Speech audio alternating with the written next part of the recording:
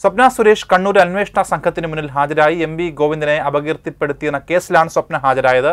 ഈ വാർത്തയുടെ വിശദാംശങ്ങളുമായി ഇപ്പോൾ ശ്രാവൺ കൃഷ്ണ കണ്ണൂരിൽ നിന്നും ചേരുകയാണ്. ശ്രാവൺ സ്വപ്നയും പരാതി നൽകിയിരുന്നു. എന്നാൽ കേരളത്തിലെ കേസിൽ സ്വപ്നക്കെതിരായ നടപടികൾ അതിവേഗത്തിലാണോ?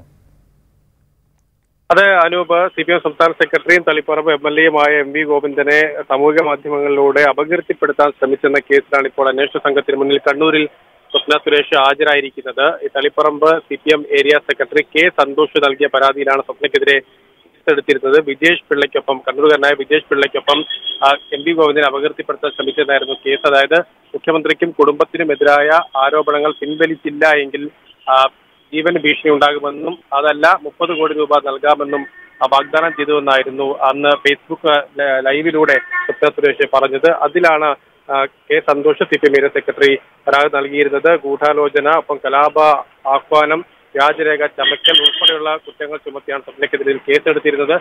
പലതവണയും സ്വപ്ന സുരേഷിനെ ചോദ്യം ചെയ്യാൻ നോട്ടീസ് അയച്ചിരുന്നു. എന്നാൽ കോടതി വിലക്കുകൾ ഉൾപ്പെടെ ഉള്ളത് കൊണ്ട് നടന്നിരുന്നില്ല. ഒടുവിൽ ഇന്ന് അവരോ- അവരോട് കോടതി നിർദ്ദേശിക്കുകയായിരുന്നു. തളിപ്പറമ്പിൽ എത്താൻ കഴിയില്ല എന്ന് സ്വപ്ന സുരേഷ് അറിയിച്ചിരുന്നു. അത് കൊണ്ടാണ് കണ്ണൂരിൽ അവരെ ചോദ്യം ചെയ്യുന്നത്. കണ്ണൂരിൽ ജില്ലാ ക്രൈംബ്രാഞ്ച് ഓഫീസിൽ പയ്യന്നൂർ ഡിവൈഎസ്പി പ്രേമേന്ദ്ര നേതൃത്വത്തിലുള്ള അന്വേഷണ സംഘമാണ് ചോദ്യം ചെയ്തത്. തളിപ്പറമ്പ് ഡിവൈഎസ്പിയാണ് ഈ കേസ് അന്വേഷിക്കുന്ന അദ്ദേഹം ശബരിമല ഡ്യൂട്ടിയിലായതിനാലാണ് പയ്യന്നൂർ ഡിവൈഎസ്പിയുടെ നേതൃത്വത്തിൽ സ്വപ്ന സുരേഷിനെ ചോദ്യം ചെയ്യുന്നത്. വിജേഷ് പിള്ളയും കേസിൽ പ്രതിയാണ് അനു ശരി ശ്രാവൺ.